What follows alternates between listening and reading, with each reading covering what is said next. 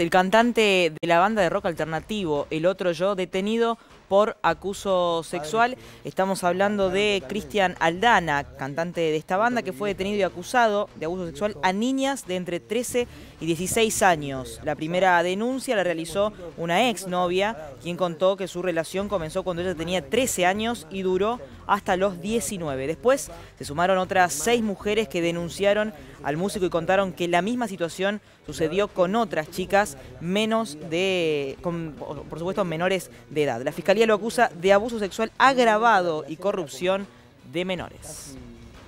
Una persona que no